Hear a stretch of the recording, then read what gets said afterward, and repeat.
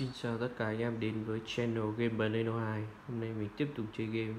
Anh em thấy hay hãy cho mình một like, một share và một đăng ký kênh. Cảm ơn tất cả anh em.